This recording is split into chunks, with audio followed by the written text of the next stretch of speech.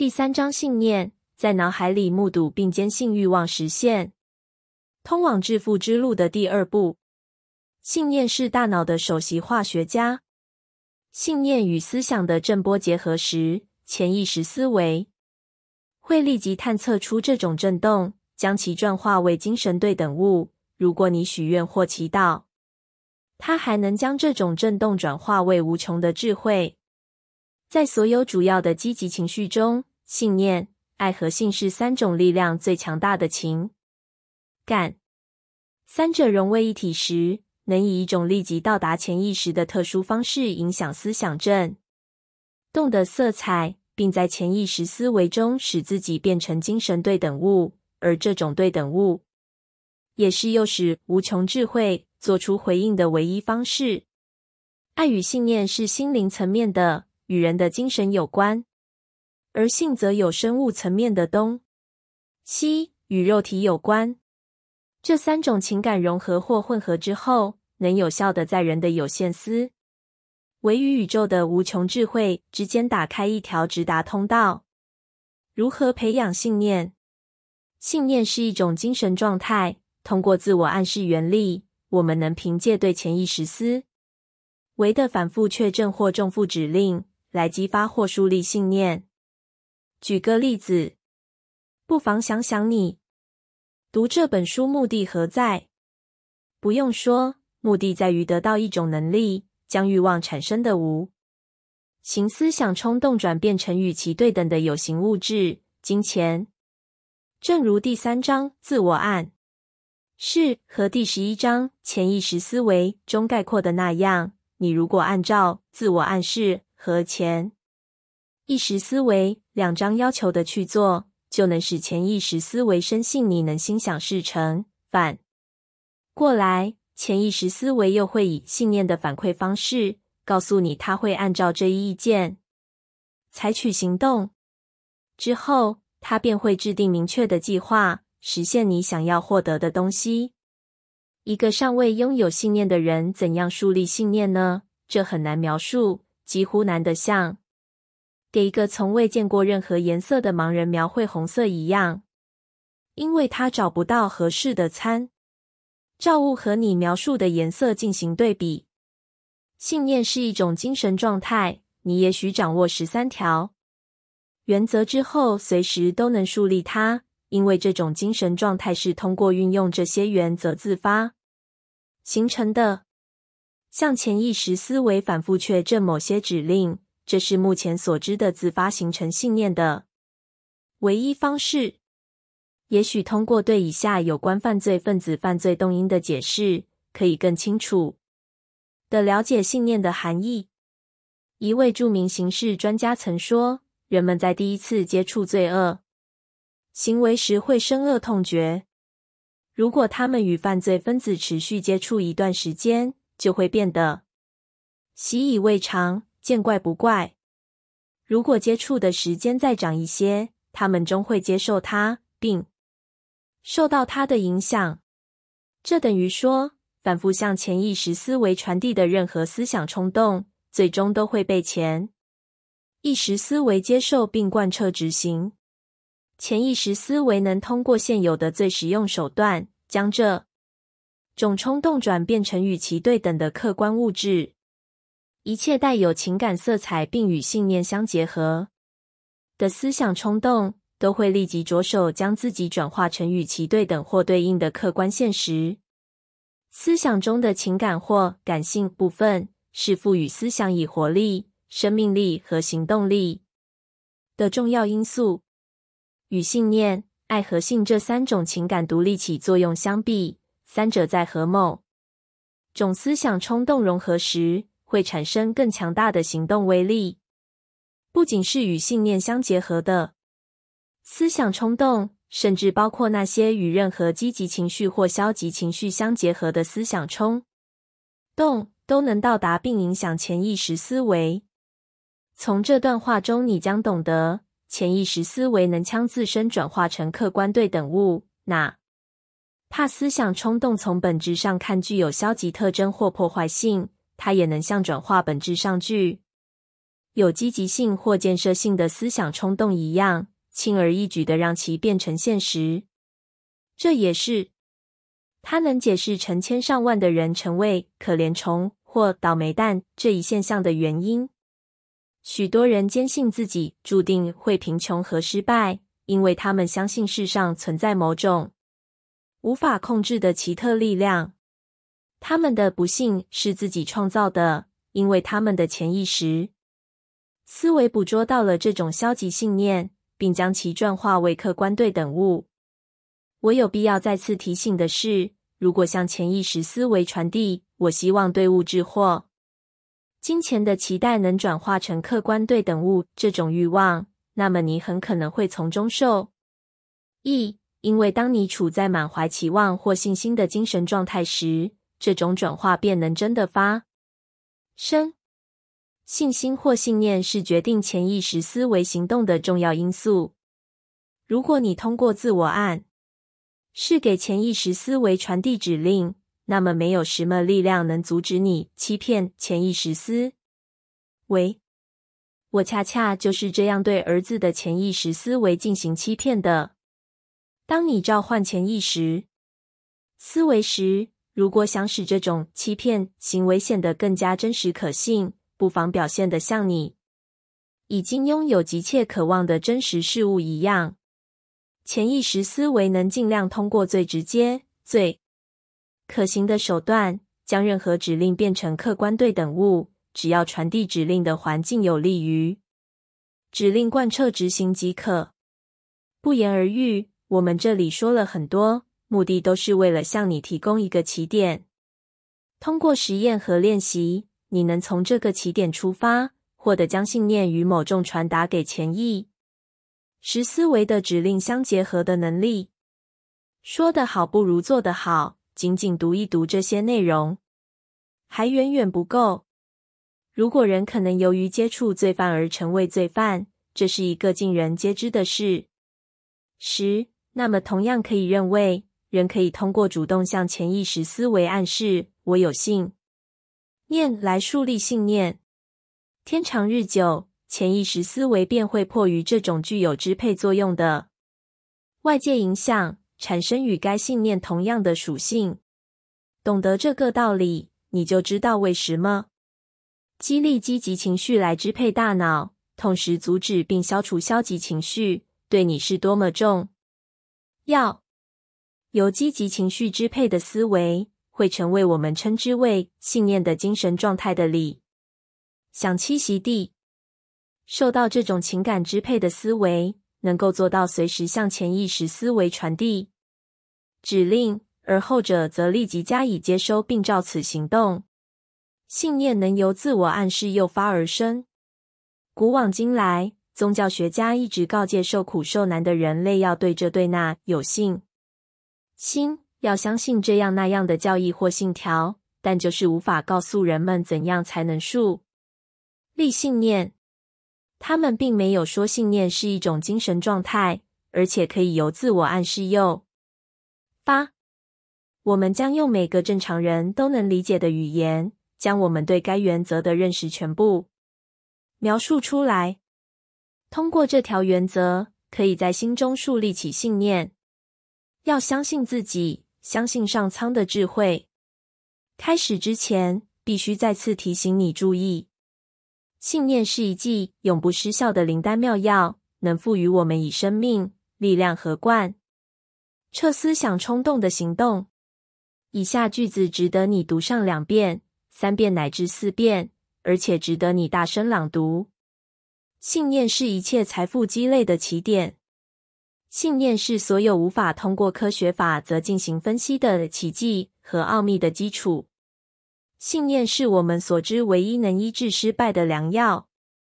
信念是一种元素，在与祈祷结合时能产生化学反应，使人能和宇宙的无穷智慧直接交流。信念是一种要素，能将人的有限思维产生的普通意念振动，变成为。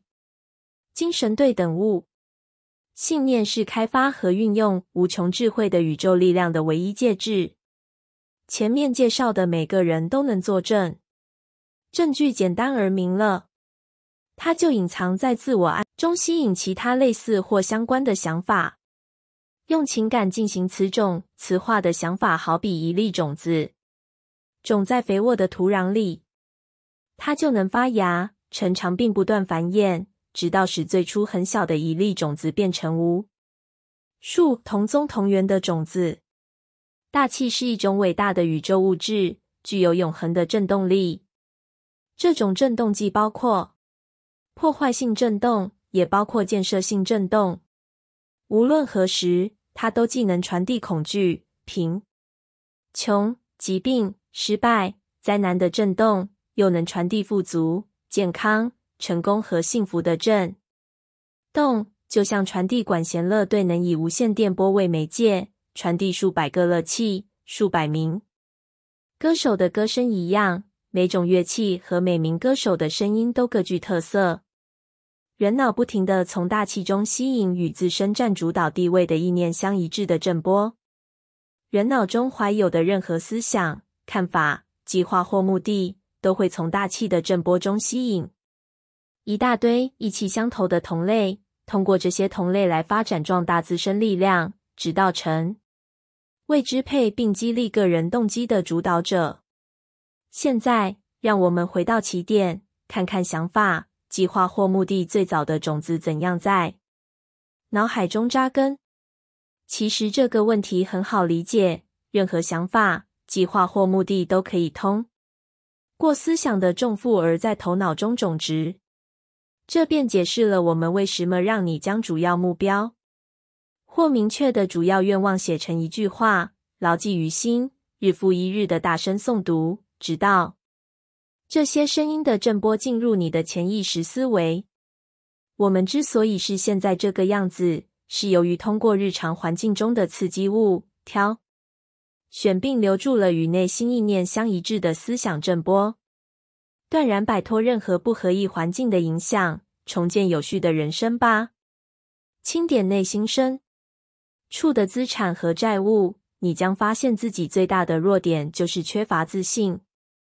其实，在自我暗示法则的帮助下，我们可以克服这一缺陷，将怯懦变成勇气。这条原则的运用可以通过一个简单的过程来实现，就是对写出来的积极思想冲动合理排序，并牢记于心，不断重复，直到它们变成你头脑中潜意识思维的一部分。自信准则。一，我知道自己有能力实现人生明确目标，因此我迫切要求自己为实现这一目标采取不懈的行动。此时此刻，我就承诺要采取这种行动。二，我知道我头脑中占主导地位的想法，最终会以外在的有形的形为体现出来，并慢慢的将自己转化成客观对等物。因此，我每天要花三零分钟时间。全神贯注的想象自己将来应该是什么样，从而在脑海里形成一幅能精准描绘这种样子的清晰星象。三，我知道通过自我暗示法则，我在心中坚定的怀有的任何欲望，都能最终以某种能实现欲望目标的有效手段表现出来。因此，我每天要专门花十分钟敦促自己树立这种自信。四，我已经明确无误的写下了对人生主要愿望的描述语。从此，我绝不放弃努力，直到培养出足够的自信心去实现它。五，我深知，任何财富或地位，如果不建立在真理和正义的基础上，都不会永远拥有。因此，我绝不做不能使所有相关人受益的事。我可以通过增强自身力量。靠别人的帮助来取得成功，我会在为别人服务的前提下感化别人为我服务。我会通过为全人类奉献爱来消除仇恨、嫉妒、自私和讥讽，因为我知道，若以消极态度对待别人，我自己就不会成功。我要用实际行动促使他人相信我，因为我不仅相信他们，也相信自。己我要在这条自信规则上亲笔签名，将其牢记于心，信心百倍的每天大声诵读一遍。这种信心将慢慢影响我的思想和行动，其影响之大，会使我成为一个自立的成功者。这条规则揭示了一条迄今尚无人能合理解释的自然法则，它让各个时代的科学家大惑不解。心理学家称这条法则为自我暗示法则，而且这一说法沿用至今。我们怎样称呼这一法则已经无关紧要，重要的是，只要我们建设性的运用它，它就能给全人类带来光荣与成功。反过来讲，如果破坏性的运用它，它也能轻而易举的带来破坏性后果。在这句话中，我们可以发现一条非常重要的道理：有些人之所以在失败中沉沦，在贫穷。悲惨和失意中了此一生，是因为消极的运用了自我暗示法则。就其原因，是因为一切思想冲动都有在物质环境中自我彰显的倾向。潜意识思维像个化学实验室，在这里，一切思想冲动都相互融合，等着变成客观现实。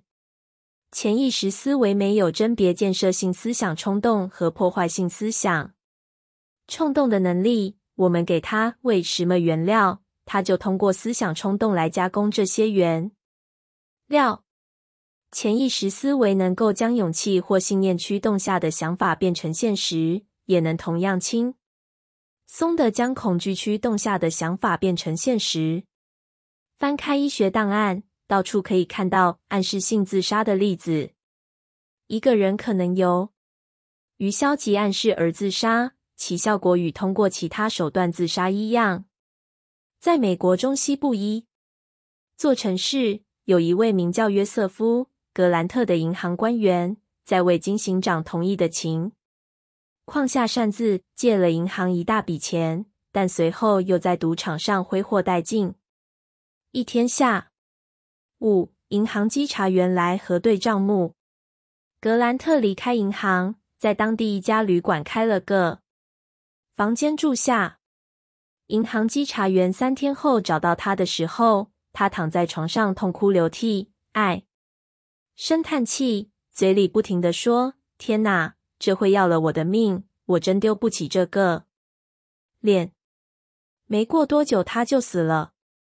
医生宣布，这种死法属于精神自杀。正如电如果运用的当，就能驱动工业车轮，提供有效服务；一旦运用不当，也能致人于死的一样。自我暗示法则既能将你带向和平与繁荣的彼岸，也能让你坠入痛苦、失败和死亡的深渊。这取决于你理解与运用它的程度。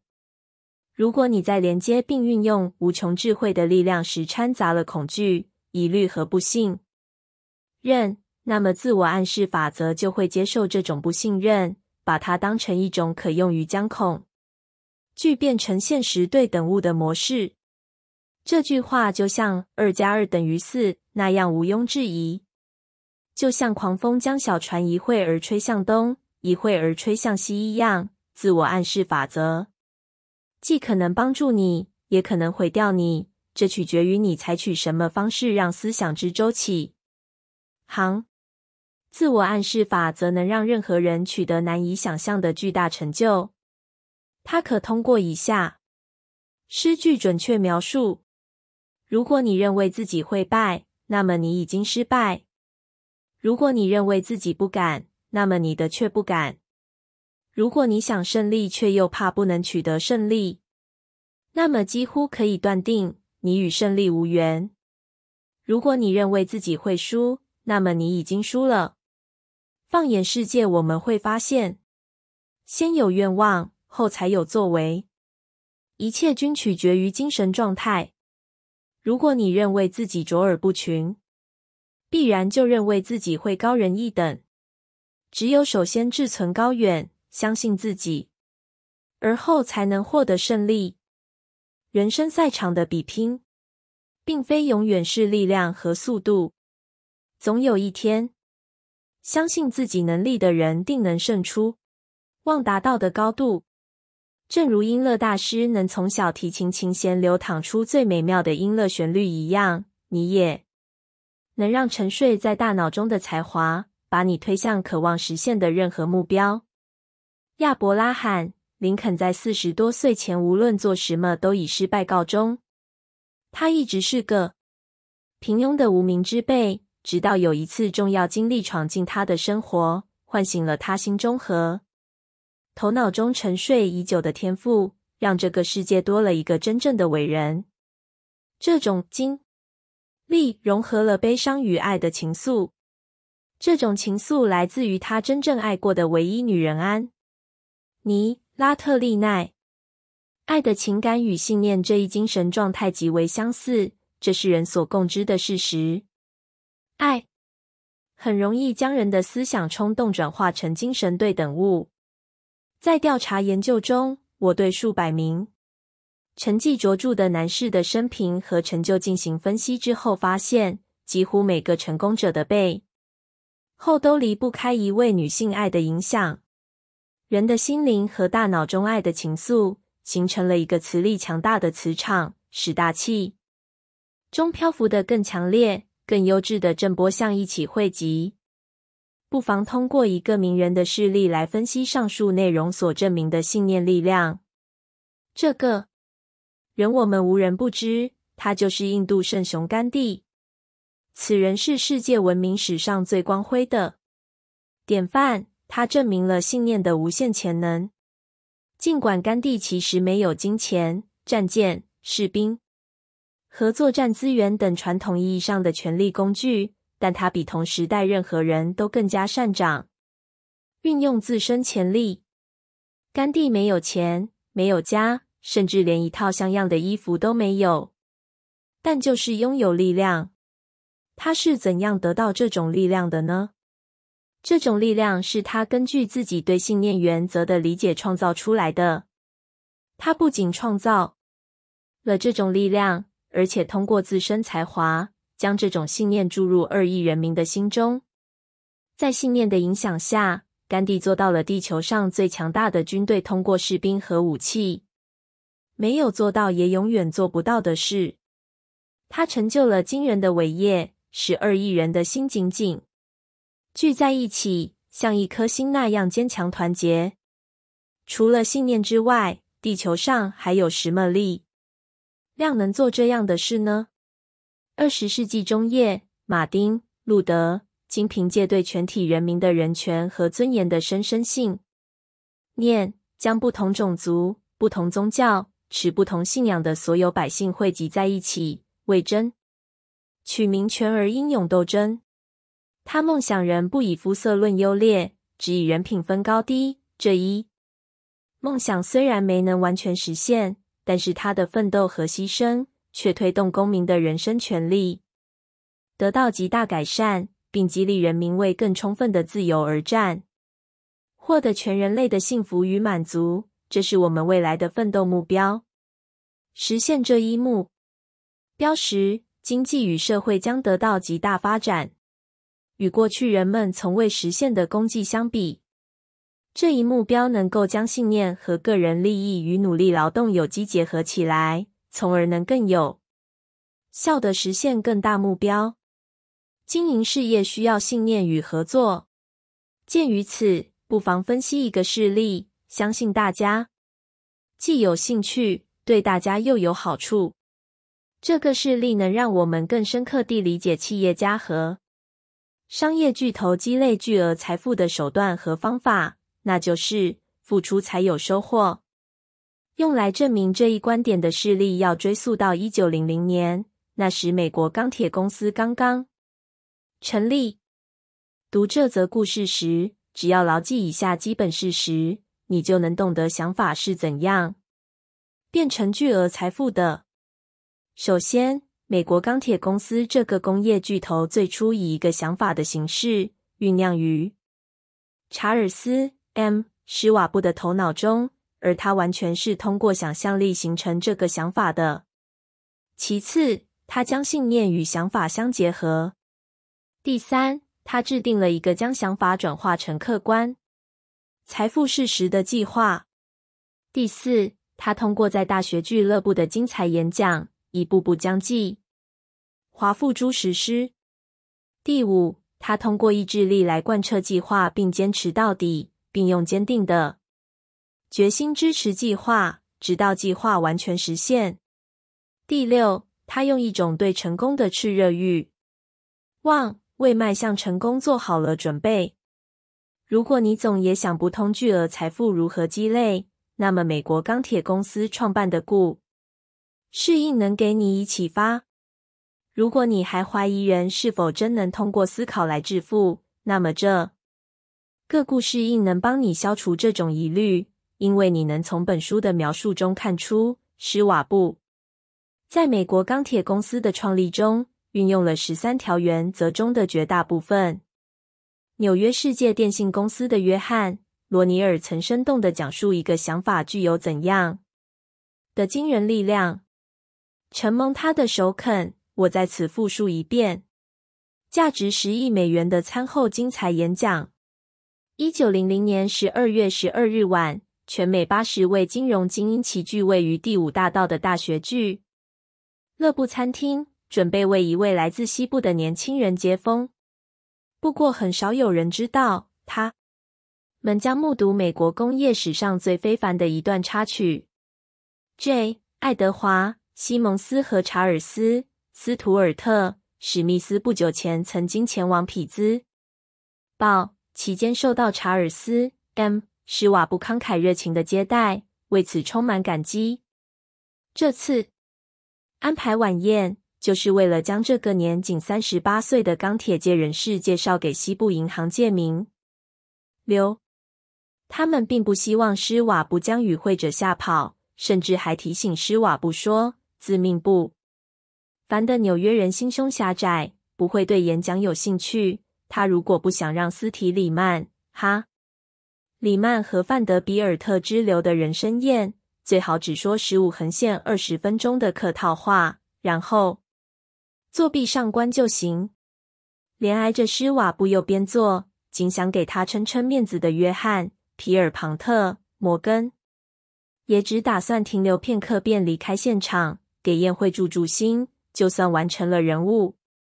至于新闻媒体和公众舆论，则认为整个事件根本没什么非凡之处可言，以致于第二天各种媒体都没有提到这件事。就这样，两个主人和贵宾像平常那样吃完了七八个菜。席间基本没什么交谈，即便有，大家也都尽量控制自己少说话。几乎没有哪位银行家和经纪人见过施瓦布，他的事业在孟农加希拉河两岸蒸蒸日上，而这里没有人熟悉他。不过，就在夜已渐深，众位贵宾。包括大亨摩根在内，准备抬脚走人的时候，一个价值十亿美元的婴儿——美国钢铁公司，正在母腹中孕育。这也许是历史的不幸，因为竟然没有人记录施瓦布的晚宴演讲。后来有一天，他在芝加哥银行家召开的一个类似会议上，重述了这次演讲的部分内容。再后来，当政府由于钢铁托拉斯问题提起诉讼时，他站在证人席上又复述了类似内容。也就是这番话，促使摩根急不可耐的在金融方面采取了一连串行动。不过，那次演讲很可能是一番家常话，不怎么合乎文法，因为诗瓦布向来不愿为华丽的词藻所累，到处充斥着双关语。穿插着机智的措辞，但除此之外，它还产生了一股让人站立的力量，对身价达五十亿美元左右的贵宾们产生了强大影响。晚宴已经结束，但是在场的人仍然沉醉在他的发言中。虽然施瓦布已经滔滔不绝的讲了九十分钟，摩根还是将这位演讲家请到了一个隐秘的窗户旁。两个人于是又坐在并不舒服的高脚椅子上，摇晃着双腿聊了一个多小时。施瓦布的个人魅力以揽公司，并与摩根一起创办了联邦钢铁公司、全国管道公司和美国桥梁公司，是摩根麾下的两家企业。而莫尔兄弟也放弃了火柴和饼干生意，创办了集生产马口铁、铁钴、钢板于一体的全国钢铁公司。但是，和安德鲁·卡内基麾下有五十三位合伙人拥有并经营的旗舰型锤直托拉斯比起来，其他那些合并的商业联合体只能是小打小闹。他们也许能尽情合并。但就算全部加到一起，也无法撼动卡内基所在公司的基础。摩根对此心知肚明。卡内基这个行为古怪的老苏格兰人也清楚这一点。从雄伟的斯基伯城堡高处，他发现了摩根的小公司企图侵犯他旗下大企业的利益。他先是觉得好笑，随后便义愤填膺。当这种企图变得昭然若揭时，卡内基的气恼变成了愤怒和报复心理。他决定复制竞争对手拥有的每一家工厂。之前他还从来没有对电线、管道、电缆或钢铁感兴趣过，而只是满足于把原钢卖给此类公司。至于这些公司把这些原钢打造成什么形状，他就不管了。而现在有了施瓦布这位精明能干的重要助手，他可要好好的让敌人吃点苦头。也就是在查尔斯 ·M· 施瓦布的那次演讲中，摩根发现了解决合并问题的答案。一个没有卡内基参与的托拉斯，无论规模多大，也根本算不上托拉斯。就像一位作家所说。葡萄干布丁里没有葡萄干一样。一九零零年十二月十二日晚的施瓦布演讲，无疑传递着一种暗示，尽管算不上保证，那就是卡内基拥有的庞大企业可以纳入摩根麾下。施瓦布谈到了世界未来对钢铁的需求，谈到了效率重组，谈到了专业化，谈到了废除不成功的工厂。全力以赴发展繁荣产业，谈到了矿石运输中的成本削减，谈到了行政管理部门要节约开支，还谈到了抢占国外市场。除此之外，他还告诉在场那些精明的投资家习惯性奸诈行为的错误所在。他指出，他们的目的一直在于制造垄断、抬高价格以及通过特权为自己谋取暴利。施瓦布以最真诚的方式谴责了这种做法。他对听众说：“这种策略之所以鼠目寸光，是因为他在一个市场急剧扩大的大背景下主动限制市场。他坚持认为，降低钢铁价格可以创造一个不断拓展的市场，开发钢铁的更多用途，能在世界贸易中攫取更多份额。事实上，施。”瓦布此时已经是现代大规模生产的倡导者，只不过他自己不知道罢了。就这样，在大学俱乐部举办的晚宴结束了。摩根回家时还在思考施瓦布的乐观预言。施瓦布回到匹兹堡，为安德鲁·卡内基经营钢铁业，而加里和其他宾客则回家守着证券行情收发机，度日如年的盘算着。下一步行动。时间过去并没有多久，摩根花了一周时间反复品味施瓦布放在他面前的理由大餐。当他确信采取行动不会造成经济上的不良后果时，便派人去请施瓦布。没想到这个小伙子却非常腼腆。施瓦布指出，卡内。基先生如果发现自己深信不疑的总裁曾经与摩根这位华尔街头号人物眉来眼去，心里可能会不高兴，因为卡内基曾经下决心永远不再踏上华尔街一步。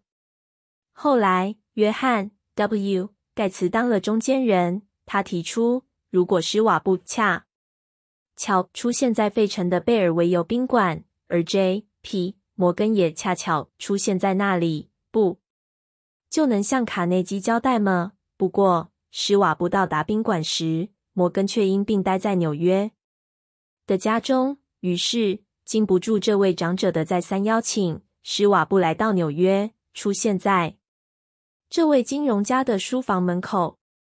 如今，有些经济历史学家表达了这样一种看法：即从这出戏的开始到结束，安德鲁·卡内基一直在担任幕后策划。施瓦布赴宴，发表着名的演讲。施瓦布与摩根这位金融大王周日晚间的谈话。一切都是这位工于心计的苏格兰人事先安排好的。事实恰恰与此相反。施瓦布应邀去完成这笔交易时，甚至不知道自己所称的小老板安德鲁是否愿意听听对方的报价，更别说卖给一群安德鲁认为天生就不怎么高尚的人了。不过。施瓦布的却在谈生意时带上了安德鲁的旨意，那是安德鲁亲笔书写的金额。在安德鲁的心中，这些金额代表着每个钢铁公司的实际价值和潜在盈利能力。他将这些公司看成新兴金属业天空中不可或缺的耀眼明星。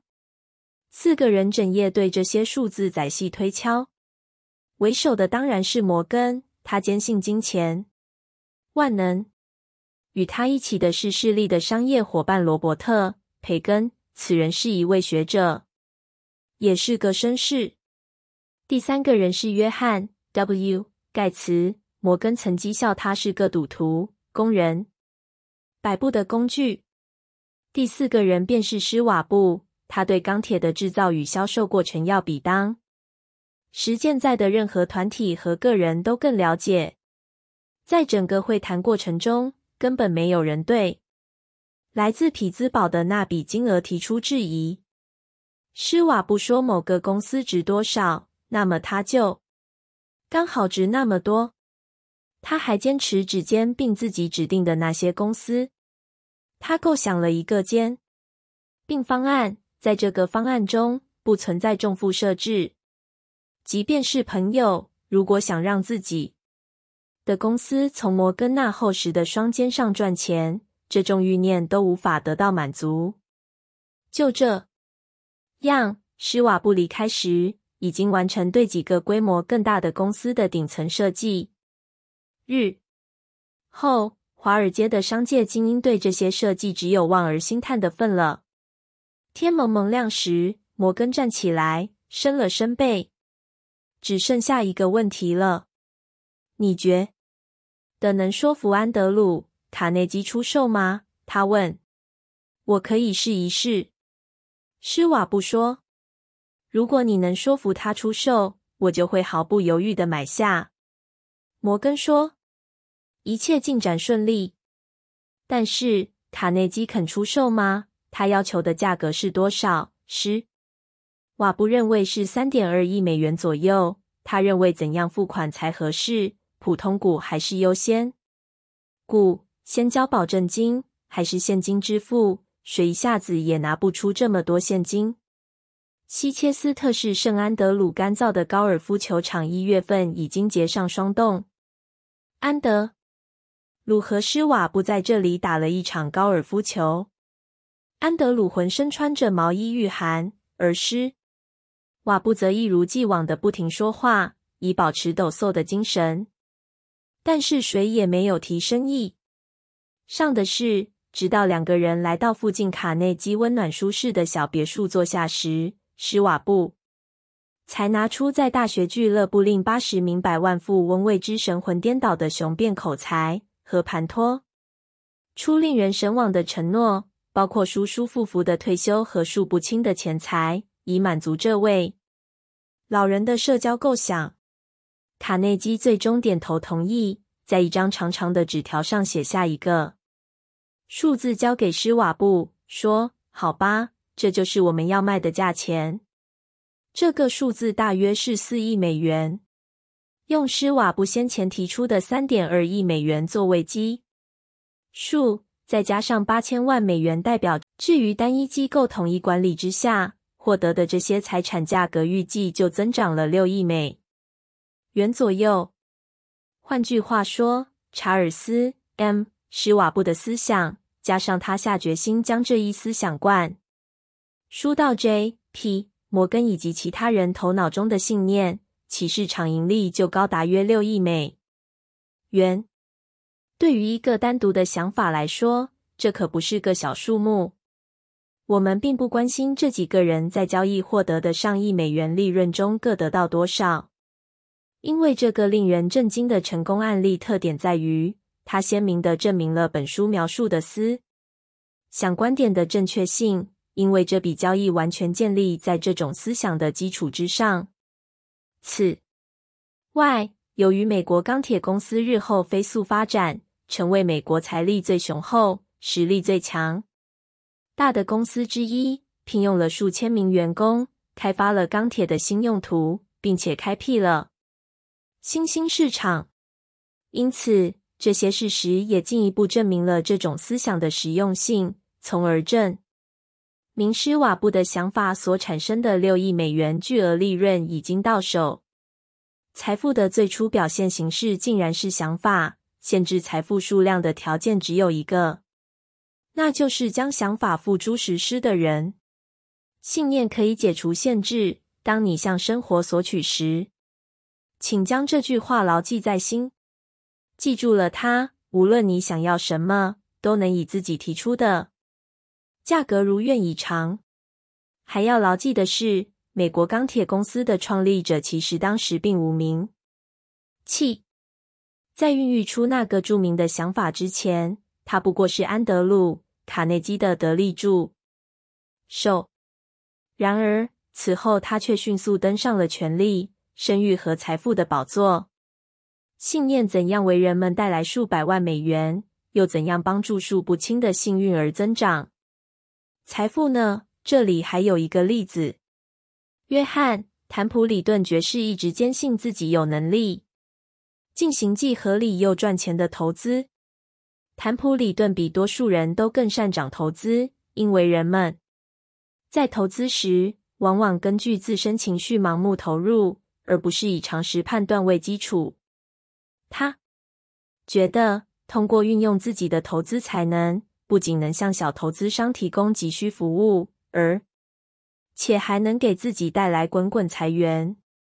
为实现这一目标，他创办了一个共有基金机构来管理别人的钱财。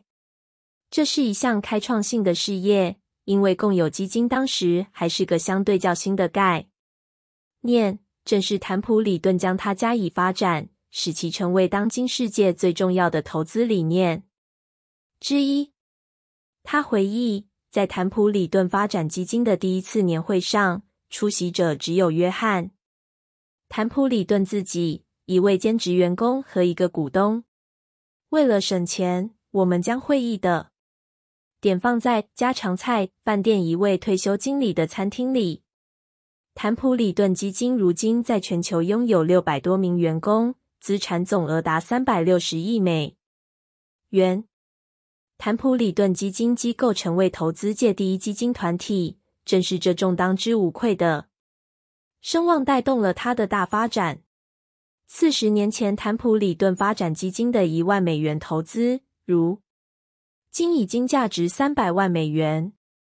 一九九二年，坦普里顿退休时，卖掉了他的坦普里顿团体基金机构，预计为四亿美元。